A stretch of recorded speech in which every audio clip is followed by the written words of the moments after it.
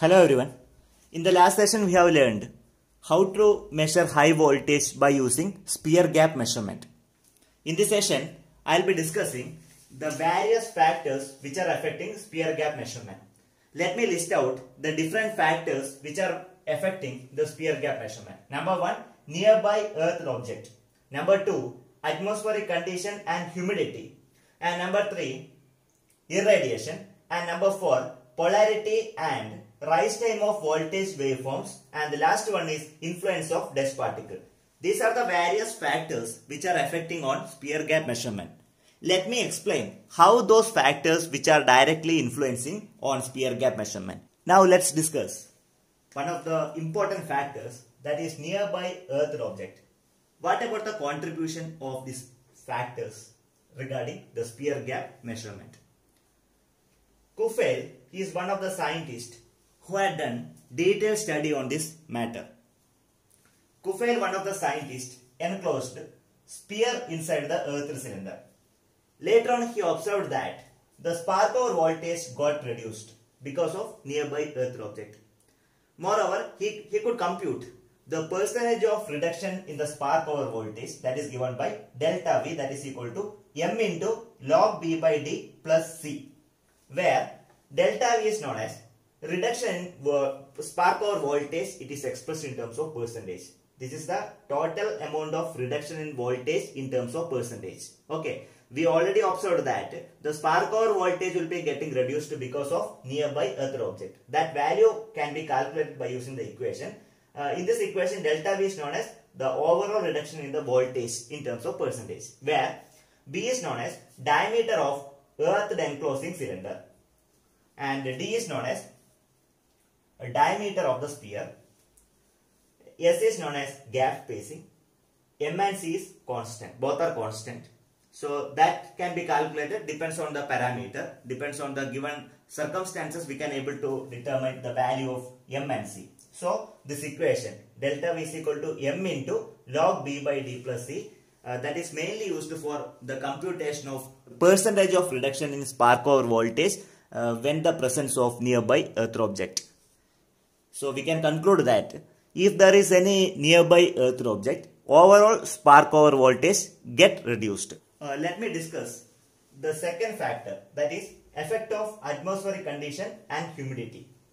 Actually, uh, the spark over voltage of sphere gap that is depending on air density.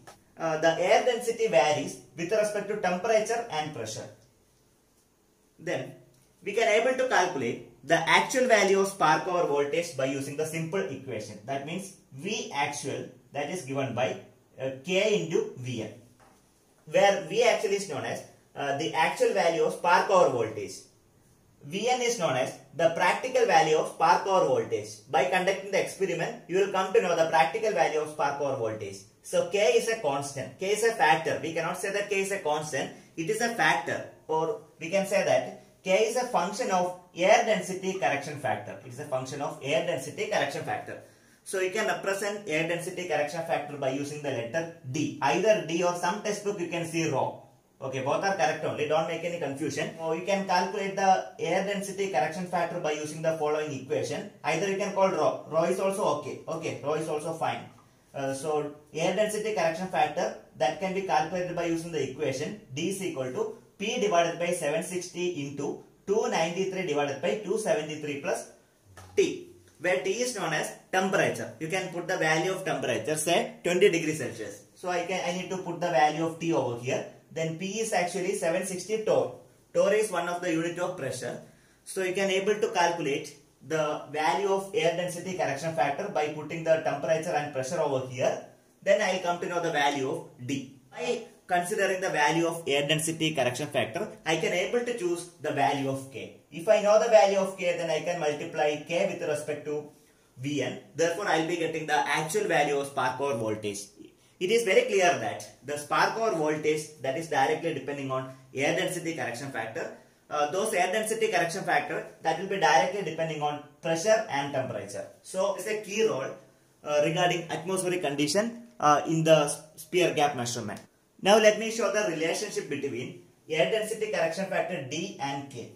So this is one of the table which is showing the relationship between D and K. For example, whenever air density correction factor that is equal to 0.70, you need to choose the value of K is equal to 0.72. For some other case, whenever air density correction factor is equal to 0.85, you need to choose the value of K is equal to 0.86. This will be helpful for the calculation.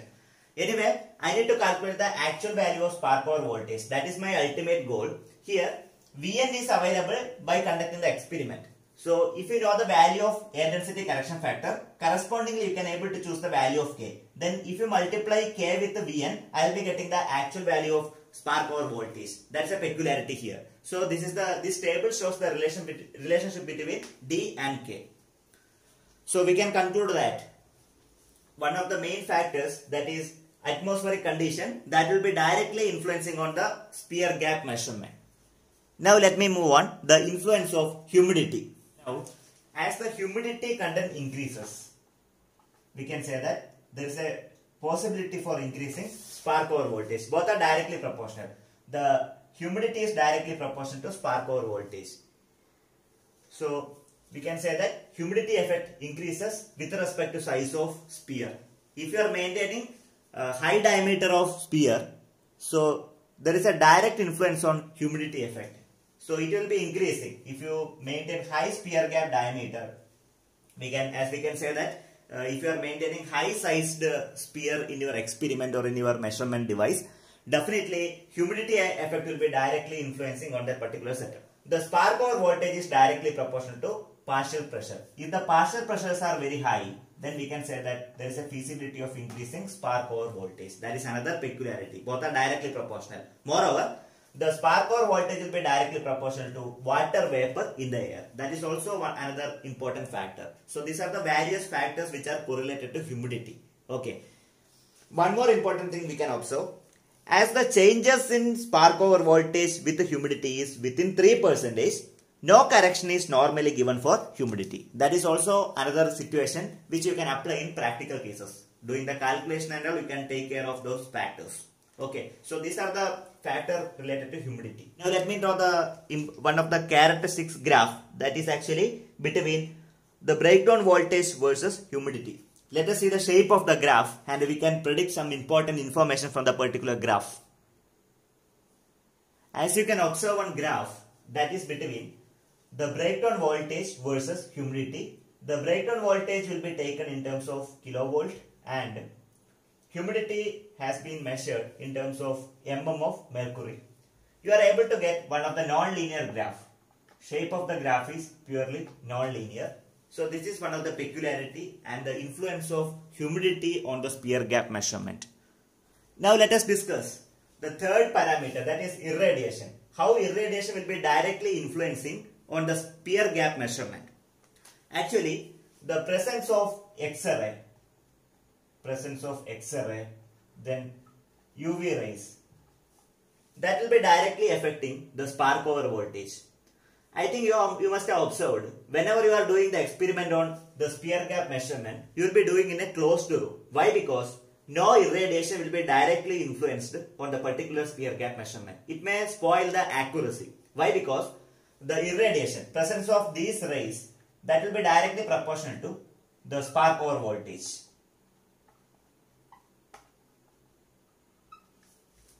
So that is why whenever you are doing the experiment on sphere gap measurement, it will be conducting in a closed room where no irradiation, no this kind of rays will be directly affected, will not, will not be directly influenced on the sphere gap measurement. So, so this is one of the important factor regarding sphere gap measurement.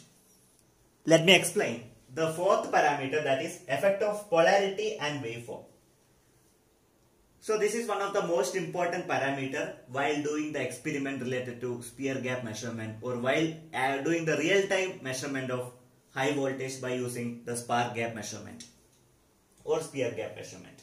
It has been observed that the spark over voltage for positive and negative polarity impulses are different.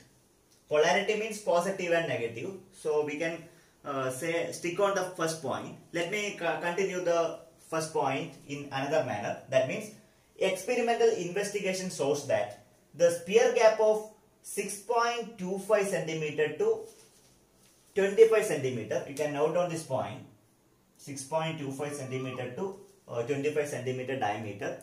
The difference between positive and negative DC voltage is not more than 1 percentage. This is most important. So it depends on the sphere gap and depends on the diameter and the sphere gap. Okay. So the difference between that positive and negative polarity that is not more than 1 percentage. That is one of the noticeable point. So let me continue. One more point. For smaller sphere gap, please note down for the smaller sphere gap, that means diameter less than 2 centimeter. 2 centimeter and less than that particular 2 centimeter diameter sphere. Uh, the difference was about, the difference of positive and negative polarity was about 8 percentage. That means the range of impulse waveform will be 1 by 50 microsecond. That means uh, 1 microsecond belongs to wavefront and 50 microsecond belongs to wavetail. So it depends on the polarity. So we have to take the tolerance that depends on the sphere gap. Okay. Depends on the sphere gap and depends on the polarity you have to choose the tolerance. So that is a conclusion regarding the point. That means for the sphere gap in the range of 6.25 centimeter to uh, 25 centimeter, the tolerance you need to choose 1 percentage. Where uh, the smaller diameter of sphere gap that is 2 centimeter diameter and less you can choose the difference between positive and negative polarity. That tolerance is almost 8 percentage. You can choose. It will be helpful for doing the calculation. And you can minimize the error as much as possible. Regarding the waveform. So let me consider this particular point. The wavefront less than 0.5 microsecond. That means wavefront. Wavefront less than 0.5 microsecond. And wavetail wavetail less than 5 microsecond so consider these two cases. The breakdown voltage will not be consistent. In experimentally they have proved they have pro they have proven that. The wavefront less than 0.5 microsecond and wave tail less than uh, 5 microsecond the, the spark voltage or you can call the breakdown voltage are not consistent. It will be frequently vary. Therefore, for such waveform, that means some waveform like 0.5 bar 5 microsecond. For such type of waveforms, the waveform, the wavefront less than uh, 0.5 microsecond and the wavetail less than 5 microsecond. Uh, this method, that means the sphere gap measurement is not recommended. Why? Because the spark power voltage or you can call breakdown voltage will be frequently fluctuating and we won't get any accurate measurement. So such cases will be completely neglecting this method. So depends on the waveform uh, we can uh, choose this method. Whether the method is feasible or not we can identify with the help of this parameter that is nature of waveforms. So we have identified the, the effect of polarity and uh, identified the effect of waveform as well. Now I'll be discussing the fifth parameter that is influence of dust particle. So presence of dust particle. It induces the spark or voltage.